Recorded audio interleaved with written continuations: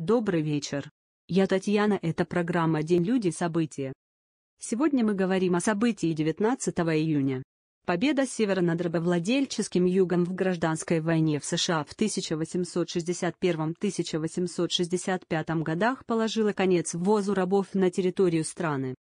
19 июня 1862 года президент Авраам Линкольн принял закон об отмене рабства, а 1 января 1863 года выпустил Декларацию независимости, в которой призывал союзную армию освобождать всех рабов, находившихся в собственности землевладельцев.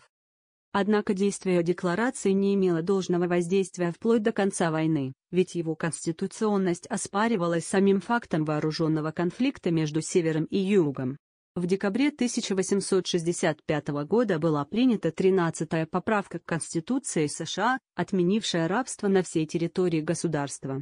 Это событие нанесло окончательный удар по работорговле в стране.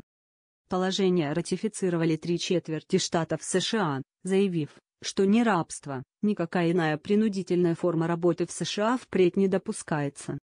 Тем не менее, работорговля на американском континенте еще продолжалась до конца XIX века. Окончательно она была запрещена в 1886 году на Кубе и в 1888 году в Бразилии.